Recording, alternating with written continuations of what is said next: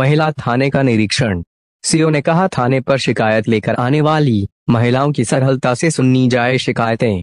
खबर भदोही संवाददाता ए के फारूकी द्वारा की गई रिपोर्ट। भदोही जनपद के और क्षेत्राधिकारी रामलखन मिश्रा द्वारा महिला थाना ज्ञानपुर पहुंचकर निरीक्षण किया गया। क्षेत्राधिकारी द्वारा थाने पर विवेचकों के साथ मीटिंग कर लंबित इकमात की समीक्षा की गई। वहीं, लंबित विवेचनाओं के निस्तारण करने के साथ साथ पीड़ित महिलाओं के लंबित प्रार्थना पत्रों का निस्तारण करने के लिए प्रभारी निरीक्षक मक्खन लाल को निर्देशित किया। क्षेत्राधिकारी रामलखन मिश्रा द्वारा महिला थाने के कार्यालय रजिस्टरों का अवलोकन, कंप्यूटर कक्ष रख रखाव परिसर की साफ़ सफ़ाई आदि का निरीक्षण किया। इस दौरान मामलों के निस्तारण हेतु प्रभारी निरीक्षक को आवश्यक दिशा निर्देश दिए गए।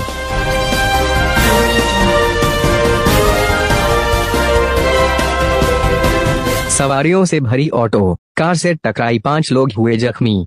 बताते चलें कि कोतवाली क्षेत्र ज्ञानपुर के गोपीगंज ज्ञानपुर मार्ग पर गिरधरपुरा मोड़ के समीप, आज शुक्रवार को अपराहन कार और ऑटो की टक्कर हो गई।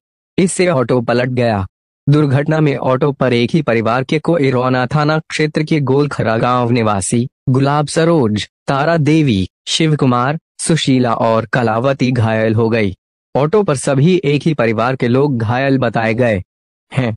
मौके पर पहुँचे लोगों ने ऑटो के नीचे दबे लोगों को निकालकर अस्पताल पहुँचाया, जहाँ सभी का उपचार महाराजा चेत सिंह चिकित्सालय में चल रहा है। चैनल पर दिखाए जाने वाले सभी न्यूज़ से अपडेट रहने के लिए चैनल को सब्सक्राइब करें और बेल आइकन को दबाना ना भूले। धन्यवाद।